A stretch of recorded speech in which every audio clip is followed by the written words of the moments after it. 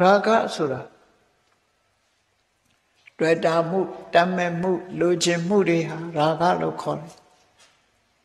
ဒီရာဂဆိုတဲ့အနှောင်ဖွဲ့ဟာလွန်ကြီးမားတဲ့အနှောင်ဖွဲ့ကြီးတစ်ခုဖြစ်တယ်ဟောဒီအနှောင်ဖွဲ့ကြီးကယုံထွက်နိုင်သလားဆိုမယုံထွက်နိုင်ကြဘူးတွေ့တာမှုတွေဟာလူတွေရဲ့စိတ်ထဲမှာ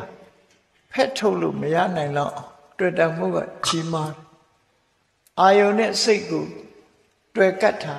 ဘာနဲ့ဥပမာတူလို့ဆိုရင်စူပါဂလူးဆိုတာတဲ့ပြင်းထန်ပေါ့နော်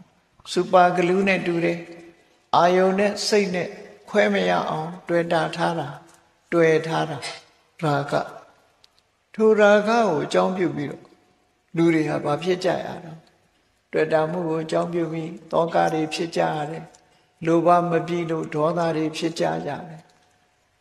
ဟော သူ့ကိုအကြောင်းပြုပြီးတော့လူတွေရဲ့စိတ်ဆင်းရဲမှုတွေဟာတတိကြီးလိုက်လာရာဂဆိုတဲ့သဘောတရားစိတ်ထဲမှာအယောင်ဆိုးပေးထားပြီးချွတ်လို့မရတော့အောင်စွဲသွားတဲ့အထိပ္ပယ်မျိုးဒီလိုဆိုလို့အာယုတစ်ခုကစိတ်ထဲမှာပေါ်လာရင်စွဲသွားတယ်ဘယ်သူကြောင့်စွဲသွားရာဂကြောင့်စွဲဆိုလိုတာကစက္ကူလေးနှစ်ခုသူ့ဘာသူဒီတိုင်းထပ်ထားဘာမှမဖြစ်ဘူးဈားထဲမှာ ကော်လေးထည့်လိုက်မယ်ဆိုရင်အဲ့ဒီစက္ကူနှစ်ခုကခွဲလို့မရအောင်ကတ်အဲ့ဒါမျိုးလိုပဲစိတ်နဲ့အာယုံကြားမှာ တွေ့တာမှု တွေ့ကတ်ထားတဲ့တဘာဝတရားစီရာက